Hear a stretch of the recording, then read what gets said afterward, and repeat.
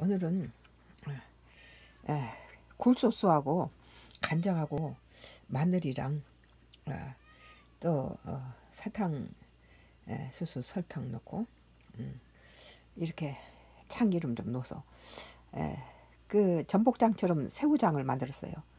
계란도 이제 같이 삶아서 같이 넣어서 같이 졸였어요.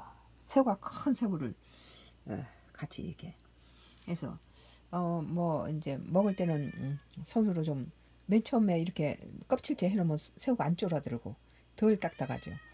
예, 그래서 예, 먼저 계란을 에, 에, 익혀서 아, 익힌 다음에 어, 그, 그 물을 끓인 다음에 이제 에, 그 물에다가 이제 가, 이런 굴소스 간장, 예, 설탕, 어, 참기름, 후추 이런 것들을 넣어서 가- 같이 졸여서 아, 그 국물도 밥 비벼 먹어도 맛있어요.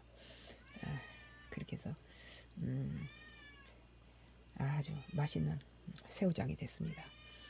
아, 단백질,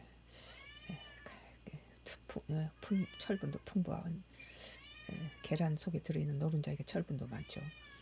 아, 또 그, 새우에 또 칼슘 여러 가지 미네랄도 풍부하고 아, 오늘 밥한 공기에다가 이 간장 음, 비벼 먹으면서 이거 같이 곁들여 먹으면 맛있겠어요.